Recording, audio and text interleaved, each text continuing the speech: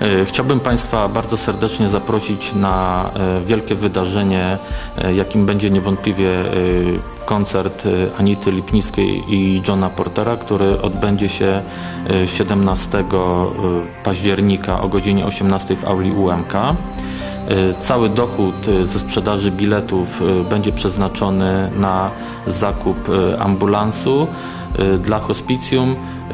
Potrzebujemy takiego zakupu, potrzebujemy nowego e, środka transportu, gdyż ten, który e, posiadamy, wysłużył nam się, często nas zawodzi e, w drodze, a tak jak już wspominałem, e, profesjonalizm, który chcemy reprezentować przez nasze hospicjum wymaga też porządnego samochodu, który naszych pacjentów będzie przewoził na konsultacje, na badania i będzie niezawodny.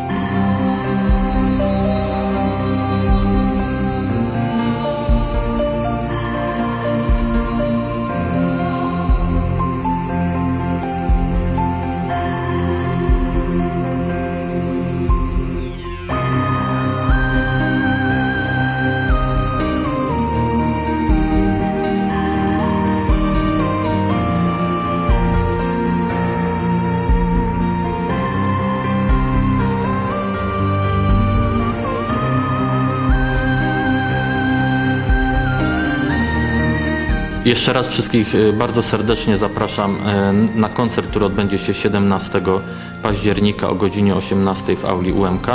Bilety y, do nabycia w siedzibie Expo André przy ulicy Prostej 19 i w siedzibie Hospicjum Światło w sekretariacie przy ulicy Grunwaldzkiej 64.